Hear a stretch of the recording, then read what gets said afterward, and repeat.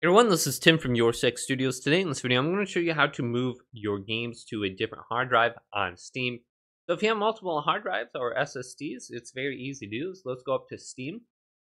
Scroll on down to Settings and select this. And go down to Storage.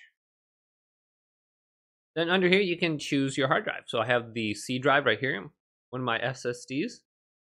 Then I have the Y drive right here. This is where I install all my games or I move all my games to.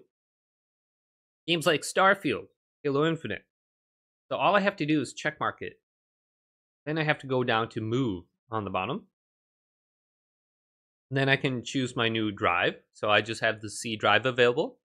And then I can select move. And it's going to take a while for it to move. Let's go ahead and maybe choose a smaller game, like maybe Age of Empires. Go to move go to my C drive and go to move. And this is what it looks like. So this movement between my two different drives.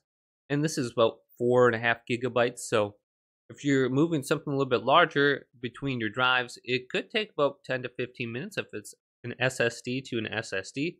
If it's not an SSD, well, it could take a really long time to move like 100 gigabytes. So just a heads up, so hopefully this video did indeed help you out. If it did, leave it a big thumbs up and subscribe my channel down below for more tech out videos coming up next on Your Six Studios.